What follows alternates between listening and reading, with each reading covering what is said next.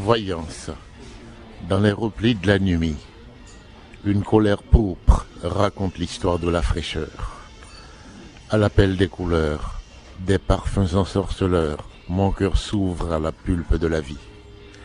Des plages de rage brillent sur la sève de mes sens. La buée des regrets brouille mon regard. La fièvre brûle la laine de ma douleur. Le temps de caresser l'encolure d'un cauchemar. De marier ma détresse aux lèvres de ma liesse. Le temps d'entonner mon chant de solitaire. Et les blessures de l'homme se déploient sur la croix. Des générations folles se bercent dans le souffle d'invisibles mutilations. À grandes brassées, des saisons entières de l'esprit s'évanouissent. C'est voyance qui s'avance, voyance, patience de l'attente et dépassement des limites, bruissement des heures éventrées, tourbillon d'un destin sans demeure, geste hardi vrillant l'espace, mesure trouble d'une aube alourdie d'insomnie. Voyance l'oreiller du soleil, tu affines les paumes de la beauté, tu amendes le sol du bonheur, tu secoues l'épaule sombre des peuples. Voyance, rosée luxuriante de la méditation.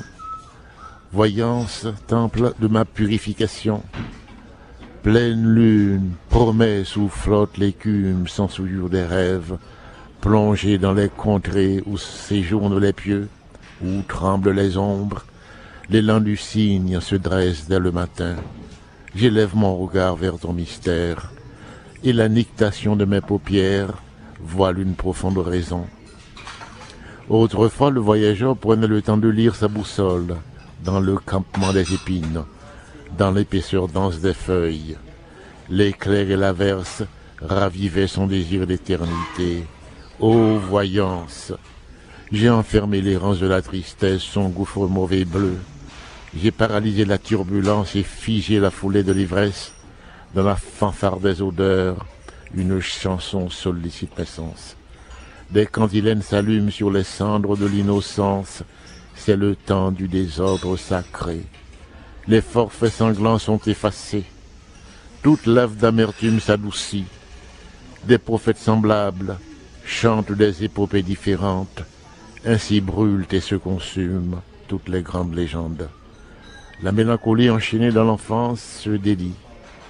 L'impatience du chagrin lacère la chance et libère l'obscurité rouillée. La trame du geste et du silence tisse la gloire d'Anakaona. Anakaona, la tempête muselée. Tes ennemis ont muré ta parole dans l'océan du feu. L'armée des caciques est revenue sans armes et sans chef. Elle a enlacé de ses bras des têtes avides d'or et d'épices les fleurs brillantes de la pensée en ces temps-là nourrissaient le crime et la traîtrise. Elles exhalaient des amours amuleuses, porteuses d'agonie, des amours tressés sans pétales, des joies cramponnées au marais de la chair. Ainsi ressurgissent les Caraïbes mutilés.